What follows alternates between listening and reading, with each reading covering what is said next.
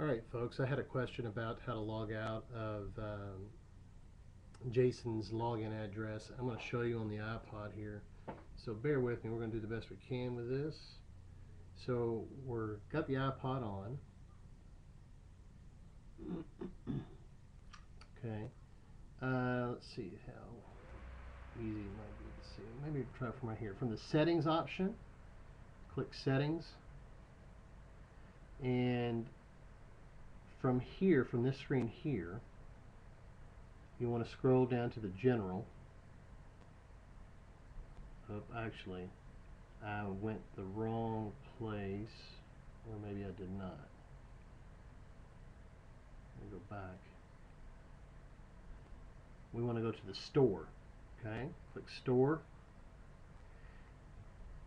And I'm being prompted to log in to the campus network, so let me cancel this where it says settings here, just below this, you might not be able to see it too well because of the glare on the screen. Where it says reevesjason at gmail.com, click that, and then it says, gives you the option to sign out. Okay, sign out.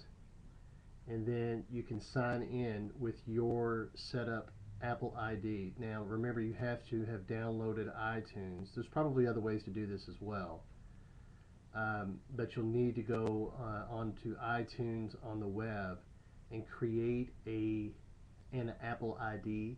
You might have to download iTunes, which is a free program, onto a computer and do it that way. But I think that you can go online and set up an account that way. So there you go.